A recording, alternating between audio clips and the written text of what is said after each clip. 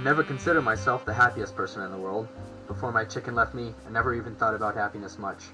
But then one day I woke up to find the empty spot where my car keys used to sit, and a note taped to a cereal box explaining that she just couldn't take it anymore, that she had to go find herself, and she was going to start looking in the Bahamas with the plumber, Ed.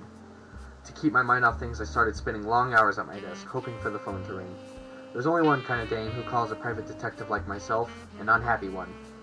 Maybe I was hoping for some kind of solidarity, or maybe I was just wanting to hear a female mm. voice. But one night, after a long night of dead air, the phone rang.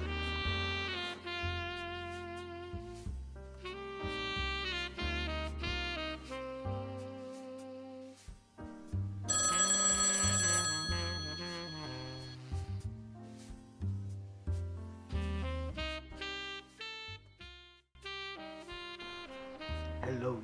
Private Eye at your service. My husband's taken off. And you need me to find him for you? Let me tell you, or sweetheart. There's, or if he's gone by his own accord, there's nothing in the world I can do. No, I know exactly where he is. He's gone to find happiness. Miss, Yes, in Bhutan. so what do you want me to do? I need you to go find what makes Bhutan so happy. I just need to know what Bhutan has that I don't. Listen, lady, I'm no expert on happiness. I could find your missing dog or valuables, but I'm the last person you'd want. I have to go. I'll contact you later. I promise I'll make it worth your while. I picked up this tome a few years ago, intending to give it to my chicken as a gag gift. I used to make fun of people who read stuff like this, and it must have been for good reason too. This guy, Eric Weiner, defined happiness as subjective well-being. Who does this guy think he is, coming up with nonsense like that? Happiness is... is... Well, maybe I wasn't so good at defining it myself. So I kept reading. The agreeable sensations which spring from the enjoyment of good. Alright, I could dig this. Enjoyment, agreeable sensations. I remembered those. Like how it felt to pet my cat or kiss my chicken in the mornings. Well, I remembered some things. But now the question of what made the Bhutanese so happy. I skipped to the chapter on the Bhutanese. As it turned out, me being a private detective in these times left me without two pennies to rub together, so visiting a country on the other side of the world was out of the question. I'd have to do my field research right here. At least, almost right here. Ask one of the locals if he'd take me up into the mountains. I think he understood me. At least, we started heading in the right direction. You see, Bhutan is a very mountainous region, very difficult to get into unless you were born there, or in India. Each visitor is assigned a guide, and you pay upwards of 200 smacks a day just to be there. I tried to approximate my trip to the mountains as close as possible to the Bhutan experience. I even had a guide. I didn't pay him, but at least he was there. There's probably something to that, this exclusiveness when you shut the whole world out. When you only got one national highway, you got you tend to be pretty happy.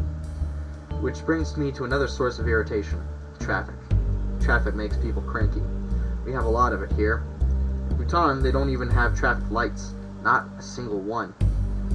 Maybe that stems from the Bhutanese respect for life, all sentient things. In Bhutan, dogs are kings of the road. I'd like to be able to laze about all day without having anyone bother me. I thought of my animals, how happy and carefree they are. These people think that life is infinite, that the living things were probably once humans, maybe even relatives of ours, so we should treat them kindly. You have to take your time in the mountains. You have to slow down. Everything you do is purposeful. Every action is taken with a present-mindedness. One of the Bhutanese men in the book yelled at the Weiner guy, telling him to get his nose out of his notebook so he could experience the world. Maybe if I'd spent a little more time listening, being deliberate and present, my chicken would have been so unhappy. This stuff really works. The people in Bhutan, their crime rate is so low that if I had actually gone to Bhutan, I'd be out of work. Unless I wanted to bust some hardcore vegetables. When I returned home from the mountains, I realized I have a lot of things that make me happy. My own personal Bhutan.